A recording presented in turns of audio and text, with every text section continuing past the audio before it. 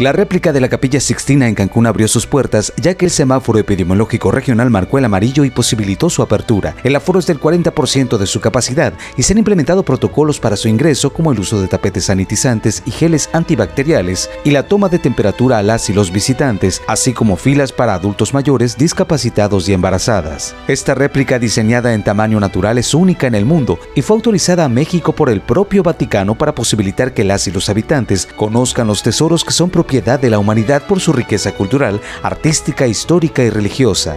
Queremos invitarte a que nos visites a Capilla Sixtina. Contamos con todas las regulaciones de sanidad para que disfrutes este recorrido. Capilla Sixtina ha recorrido ya 11 ciudades. Estamos en Cancún para que nos visites. Más de 2.7 millones de fotografías tomadas en 170 noches. Te esperamos de martes a domingo de 11 de la mañana a 6.40, último recorrido. Reservaciones a través de sixtinenmexico.com. Y si no quieres o no puedes hacerlo en línea, ven y visítanos directamente en filas, te darán acceso. Queremos que conozcas la cultura. Acercamos a Capilla Sixtina a todos los mexicanos de forma gratuita. Estaremos hasta el 8 de noviembre para que nos visites. Estamos buscando al visitante 5 millones. Tenemos un premio para él que es una ida a la original Capilla Sixtina con un acompañante a Roma. Tú puedes ser esa persona. Acompáñanos. Los horarios de visita son a partir de las 11 de la mañana hasta las 7.40 de la noche. La entrada es gratuita, pero hay que obtener boletos desde la página www.sixtinaenmexico.com, seleccionando el día y la hora para la visita. El recorrido dura un promedio de 30 minutos, durante los cuales se observa un video que expone cómo fueron concebidos los frescos por su autor, Miguel Ángel, un espectáculo de luz y sonido y la visita para admirar la réplica de las pinturas, que van desde el Génesis, pasando por el diluvio y la crucifixión hasta llegar al fin del mundo. Al término del recorrido se pueden adquirir souvenirs y productos artesanales.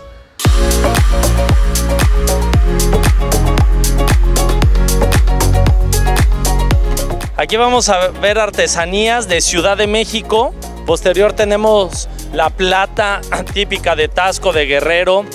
Tenemos al señor Javier que nos acompaña con ilustraciones que él trabaja en la Ciudad de México.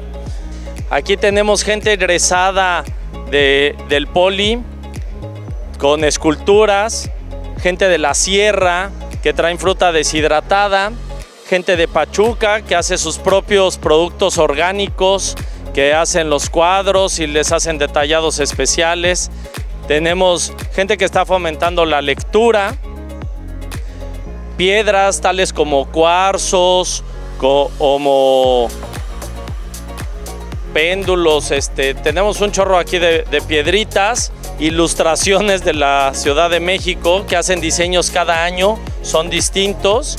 Persona que nos acompaña también de la Sierra de Puebla, que hacen bordados principalmente muy económicos. Por favor, no le regateen a la gente cuando vean las artesanías. Tenemos mezcal, es gente de Torreón. Tenemos de Ciudad de México, y de Jalisco, que es porcelana fría. Son unos pequeños detalles de porcelana fría muy bonitos, muy peculiares y además son piezas únicas. En la esquina tenemos dulces típicos que vienen de Toluca. Luego tenemos jugos de arándano, bebidas especiales y salsas que vienen de Metepec. Aquí también estamos apoyando talento de Cancún. Todo esto lo hacen aquí en Cancún para Manos del Mundo en el Vaticano. Tenemos otras personas que están buscando la oportunidad de aquí de Cancún, que también maneja Fabiola Torres Joyería. Tenemos ilustraciones de este, personas que radican en la República Mexicana, pero que hacen caligrafía para que te lleves un bello recuerdo de, de Cancún y de la Capilla Sixtina. Tenemos productos orgánicos, bolsas tejidas, productos de miel, zapatos, este, tejidos, muñecos de manitere. En, fin, tenemos hasta quesos también. Una serie de productos de artesanías que tú podrás disfrutar y a unos precios verdaderamente incomparables. Apoya el talento mexicano y la artesanía mexicana.